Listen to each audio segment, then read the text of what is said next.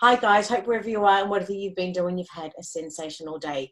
All right, COVID 19. Now, we're really in unprecedented times and we're each navigating our way through uncharted territories with what seems to be without a map. You know, situations are changing um, not by the day, but actually by the hour. So, despite this, one thing still remains the same, and that's the facts. And that's what we're here to chat about today with our very special guest, Belinda Joyce, midwife and maternal child health nurse with over 20 years experience. Now, if you have or a baby or you're expecting a baby, you may be worried about them catching the coronavirus, particularly after the media reports of an Australian infant recently diagnosed. Well, if that's you, definitely this chat is something you need to, to, to listen to. No, um, before we get into all of this, um, the facts and, and, and speaking to Belinda, I just wanted to just mention, you know, with the recent toilet paper crisis amongst any everything that's been going on at the supermarkets, what's been really most disappointing was really just the lack of concern for others, um, and it really did seem that everybody's completely out for themselves. Um, one thing uh, for sure is the fact that no one is immune um, from this virus, and we really are all in this together. This is something that we really need to remember. It's not every man out for themselves, we're in this together. So, just to let you know, the team here at Kiddipedia will do our utmost really to help support you during this time. And it's our aim to be able to deliver trusted, evidence based information and advice to keep you informed and really help you reduce some of that anxiety around this crisis and enable you to be the best parent that you can be. And after all, this is why I created Kiddipedia, and this is what our mission and our vision stand for. Now, a little bit about our guest. Belinda Joyce is a midwife um, and maternal child health nurse with over 20 years' experience. She's also a mother of four and author of this fantastic book, Survive and Enjoy Your Baby. Her passion is in providing safe, evidence based advice and, and options uh, to parents so they can find their own path to parenthood. Um, Belinda through her nursing and midwifery career of over 20 years, has worked with thousands of parents during um, their newborn um, sort of phase in their life, uh, childbirth, education, prenatal, um, labour, birth, you name it. And as mentioned, that she's actually a maternal child health nurse based in Ballarat. So she um, is our guest today. First of all, how are you doing? Very well, thank you. Now, for everybody watching, um, we published your article titled Coronavirus What Parents Really Need to Know. For someone that hasn't read the article, can you give us a little bit of an overview, what it's about, and what inspired you to write it? Look, I was getting lots of questions about, um, you know, how do you catch it, um, ways to prevent it, how sick will my children actually get if they get it. Um, and I just thought if I could put the the actual facts down in an article with just brief um, information and get rid of all the rest, I could put a lot of parents' minds at ease. Yeah. So in this article, you've really consolidated um, the most up-to-date information um, from reputable sources such as the World um, Health Organization, UNICEF, and the Australian government. So it's really worth a read. Um, so let's get stuck into your questions. So question number one, we've got how can I prevent infection with coronavirus? Look, it is what I guess you've been hearing in the media. Wash your hands um, repetitively. Wash your hands. You can use some hand sanitizer as well, but washing your hands is just as good if you do a really good job of it and wash for at least 20 seconds. So, doing that frequently, trying to reduce the amount of times you touch your face um, because we do touch our face quite often. It's actually quite hard, um, but keep doing that. Um, if you do have any cough or cold, um, flu like symptoms, actually talking to your healthcare professionals, so your general practitioner, your doctor, um, and seeing if you do need to be tested for coronavirus. Um, sneezing into a tissue or into the crook of your arm. I'm sure you've been seeing that um, a lot in the media as well um, staying sort of further apart from people than you usually would. So, social distancing, they're calling that. So, a metre to a metre and a half away um, if possible. Obviously, in your own home, though, that's different with your family. But when you're out and about at the supermarket um, and, and at work, if you're able to just have that little bit more distance between you, that really helps because um, you, you've got that space. Yep. Okay. Question number two. Now, what if my baby or children are diagnosed with the coronavirus? Look, the reassuring thing I think for parents is that coronavirus um, is really only infecting a very small amount of children and babies, and they're getting quite a mild disease from it. So, very mild um, cold and flu symptoms. Um, the experts are actually a bit unsure whether more children are getting it and having very few or no symptoms. Um, and of course, they're not getting tested if they're not terribly sick. Um, so I think we should be reassured by that. If they did have some underlying chronic conditions, such as asthma or other um, illnesses, it's definitely worth checking in with your GP earlier um, and also sticking to any emergency sort of ma- management plans that you already have in place. Okay. Next question. Now, what if I'm pregnant? Um, am I more at risk? Look, what they seem to be finding, and, and also all of this information, we're learning more um, every day. So um, they're finding that pregnant women don't seem to be at any more risk than anyone else in the public, um, which is fantastic. And they're also finding that when they do get coronavirus, they're not getting any sicker. So when a pregnant woman gets the flu, they often do get a lot sicker, even if they're healthy and, and well usually. Um, but with coronavirus, they're not. So that's another really positive, positive um, piece of information that we know. And what happens if a mum is breastfeeding? Um, mothers, I guess, are more at risk of becoming sick from the virus than the babies. And what if the mum is breastfeeding? Yeah, look, there have been two schools of thought on that, but I think the the um, vast majority think that it's better to continue to breastfeed breastfeeding offers um, huge amounts of immunity to your baby. Um, but if mum's coughing and sneezing, wearing a mask is really important just to stop that transfer to the baby. And I realise masks are very difficult to get at the moment, but if you're able to get some um, from your healthcare professionals, if you're not able to get them from um, from a shop, um, it's worth asking. Um, but certainly breast there, there doesn't appear to be any um, transmission of coronavirus through breast milk.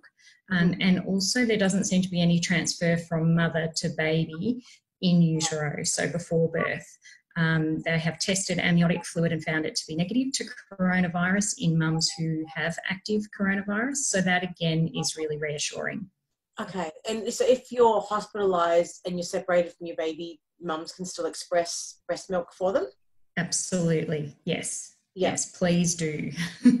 and um, the other thing we were mentioning before, um, I find there's, it's, there's recently been some, some cases overseas, and as you mentioned, but nothing's been um, confirmed that it, that it actually can pass through the fluid. Is that correct? It, it, looks as though mothers cannot pass it to the baby um, when the baby's in utero. Yeah. Um, there was a very recent case in London where um, only minutes after birth the baby was swabbed and found to have coronavirus, and they're still looking at how that might have happened. But certainly, in um, around 140 um, Chinese mothers, um, there was no transmission between mother to baby. So, at the moment, we're sort of going with that advice. Yep. but what if a mum or a mother is using or parent is using formula? What's your advice there? Look, if if they're using formula to feed their baby, um, really sticking to the normal rules around um, cleaning and sterilisation of the bottles and um, making sure their hands are washed um, and that every you know the bench is nice and clean before starting. So if you're sticking to those normal rules, uh, there's really no risk of transmission transmission of the coronavirus through the bottles. Yeah, it's just it's just extra sterilisation of the bottles and all of the equipment, um, even more so. Yes. You say? Uh, look, if you're doing it properly to start with, it, you shouldn't need to do any extra. Yeah. Okay. And what about if families are concerned um, uh, and having health issues, but having um, issues with accessing healthcare professionals? Um, you know, I guess for hospitals and, general GPs, um, are likely to be overwhelmed with people um, in the same situation, but where a parent has um, has a newborn, um, and and understanding everyone's just as important as one another. Um, what would you sort of recommend, I guess, for any any parent with a newborn who's having issues with accessing healthcare, or if the baby gets yeah, so try probably trying their straight away their, their own doctor or GP practice. So trying to phone them first. Um, there is also a corona um, hotline if you think that you yourself or your child um, could have symptoms of coronavirus. And I believe there was an announcement as well that there's going to be some bulk billed um, uh, online consultations with some doctors and nurses. We're just waiting to find out all the details uh, around how to access that at the moment. Yep. Okay, wonderful. Um, and how about the situations where parents have got to go to work and um, they, mm. they, they have their children in in daycare or in childcare? Um, you know, how are they best to, in that instance, protect their their, their young ones? So at the moment, we're all the nearly all of the childcare centres um, and kindergartens and schools and things are still running as usual.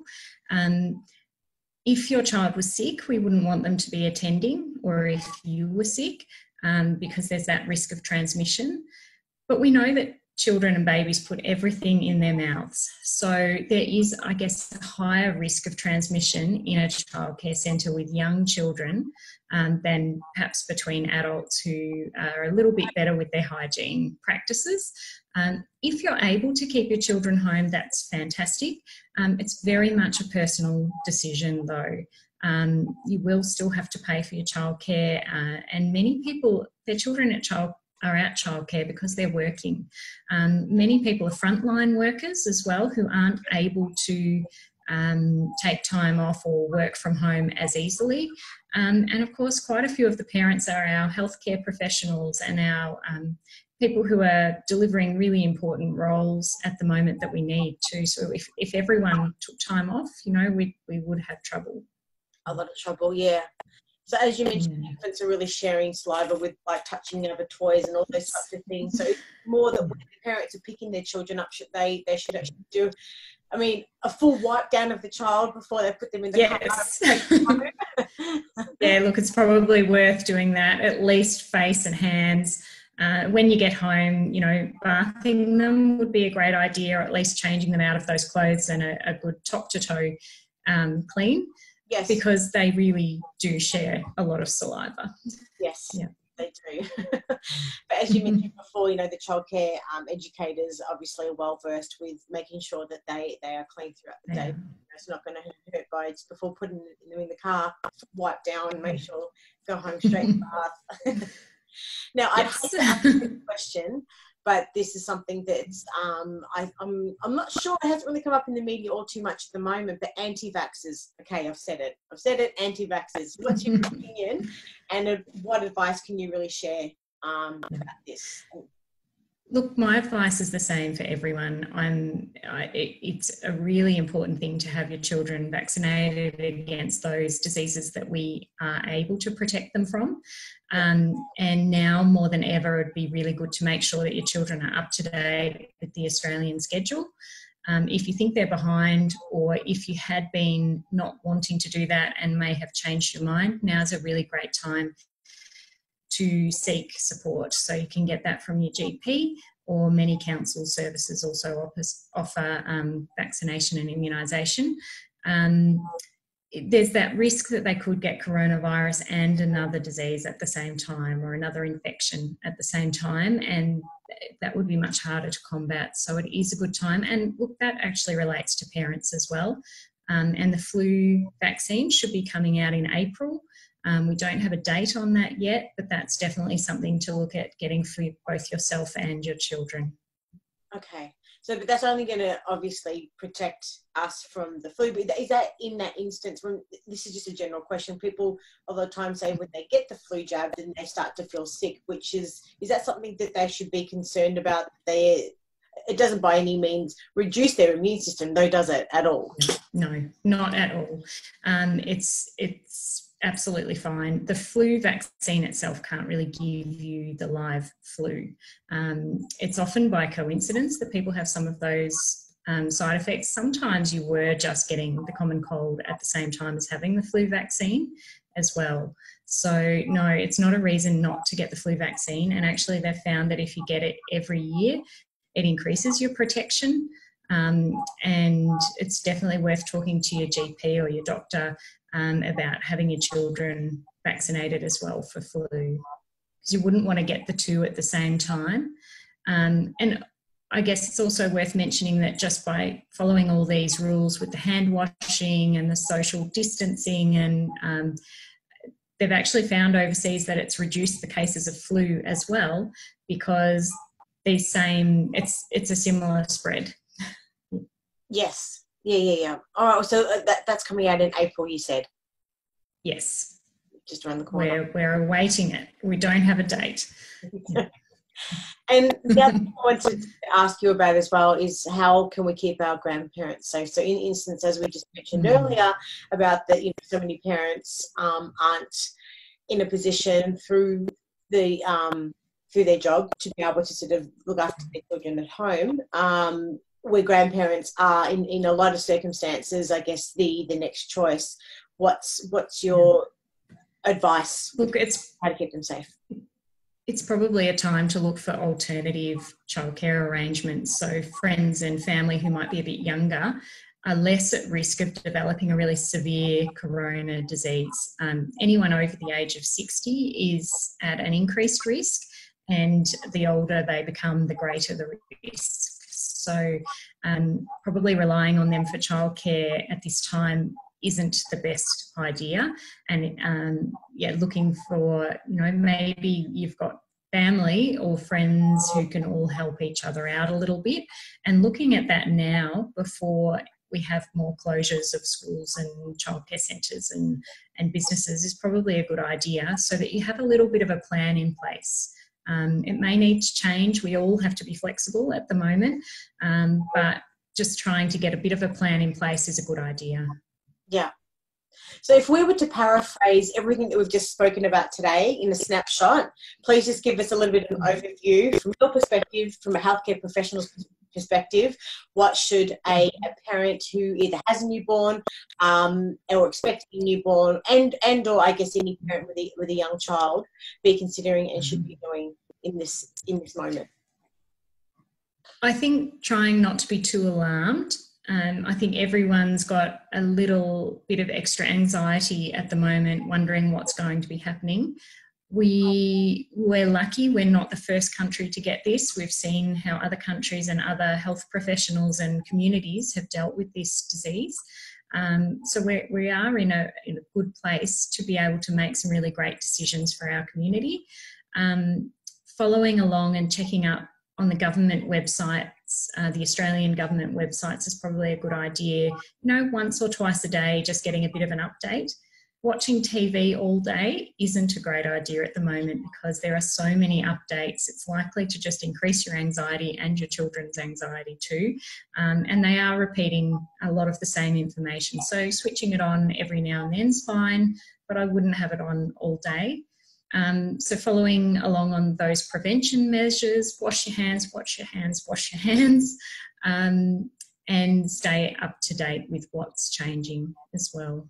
Yeah, so really by protecting your children, you're protecting everybody around them, um, and those who are more likely to be more vulnerable to um, to contracting the virus. Um, more Absolutely. Well, I'm really, really honoured to have your time today. Um, and we'll pop in, um, of course, in the introduction paragraph, a link to your article, which everyone should have a, a quick read of. It's fantastic. And the other phone numbers um, as well that you had mentioned earlier on the hmm. coronavirus. Is it a hotline, hotline. number? Yes, I believe. Yeah? Yes, it is. It's the coronavirus hotline. hotline, hotline bling. Yes. Um, we'll put that in there. Um, but um, for everyone else, please just be well. Um, it's really um, for us to just follow the rules, just to colour inside the lines for a little while. Um, the rules are there um, for for the right reasons. Um, so just keep washing our hands, stay safe, um, and I think above all, just don't forget to be kind to others. We are all in this yeah. together. So take care. Yeah. Um, give my love to the kids, um, and just know that we'll be doing everything that we can to keep delivering some evidence-based information to you to help um, through this difficult time. So take care and uh, have a wonderful day. Any other questions, pop them in the, um, the, the comments down below, and I'm sure Belinda will be available to answer them. Take care and have a great day. Give my love to the kids. Thanks. Bye.